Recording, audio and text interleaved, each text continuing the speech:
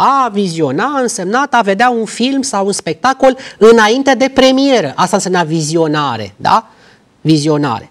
Astăzi, pur și simplu, înseamnă a vedea un film la televizor. Ni se, ni, ni se și urează vizionare plăcută, nu? Da? Deci, te uiți la televizor, vezi acolo un film, o emisiune, se cheamă că vizionezi, nu că vezi. Da? Sau a vedea o expoziție, nu mai vedem o expoziție, vizionăm expoziția sau vizionăm o partidă sportivă. Da? Sunt lărgiri de uh, sensuri. La fel pentru a monitoriza. A monitoriza vine de la monitor. Da? Monitorul era un aparat, un aparat specializat, da? Uh, de supraveghere. Asta înseamnă a monitoriza, a supraveghea prin intermediul monitorului nu? sau al altui aparat specializat.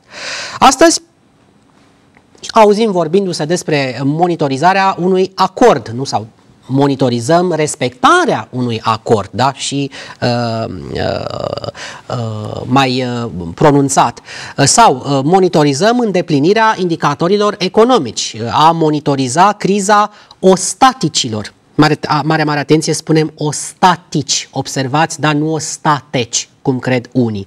Ostatic la singular, nu ostatec, da? Ostatic, ostaticilor. Deci, pur și simplu, a monitoriza astfel înseamnă a urmări, nu? În loc să spunem uh, că urmărim, pentru că ni se pare, mă rog, că nu avem o exprimare elevată și poate râde lumea că nu avem un vocabular, spunem că monitorizăm, da? Dă mai bine, cred unii, să spunem astfel.